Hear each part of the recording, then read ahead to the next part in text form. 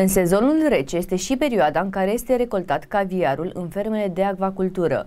Din cauza sancțiunilor impuse, Rusia nu mai poate exporta aurul negru, așa că România reușește să trimită caviarul produs la noi până în Statele Unite, Singapore sau Dubai.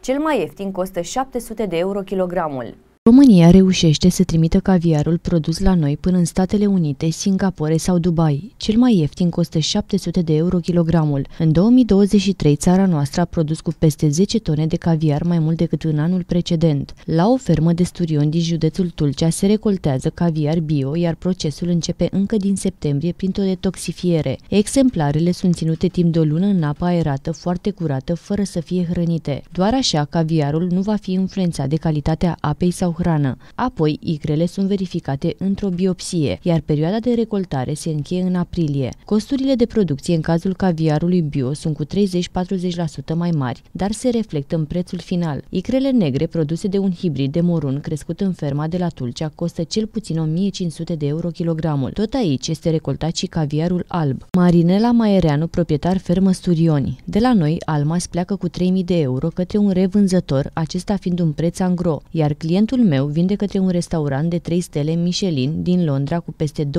de lire. O fermă piscicolă din Timiș produce caviar care se vinde în magazinele din România, dar mai nou se fac planuri și pentru export. La noi o cutie de 30 de grame se vinde cu 100 de lei, iar 100 de grame cu 200 de lei. Romina Hiriș, director fabrică. În exterior va avea un impact mult mai mare deoarece sunt mult mai cunoscute aceste articole. Pe fondul sancțiunilor impuse Rusiei, inclusiv privind fructele de mare, țara noastră are de câștigat câștigat. Tudor Ionescu, Centru de Biodiversitate Acvatică. Cred că peste 70-80% din producția de caviar din România ajunge la export. Doar 6-7 ferme din România au ajuns la maturitatea necesară în care să poată să producă și caviar. În următorii ani însă vor mai ajunge la maturitate și sturionii din alte ferme. E nevoie în funcție de specie de la 4 la 14 ani. Caviarul în țara noastră provine legal doar din avicultură, pentru că pescuitul la sturioni este interzis pe termen nelimitat din 2020 2021, relatează știrile protv.ro.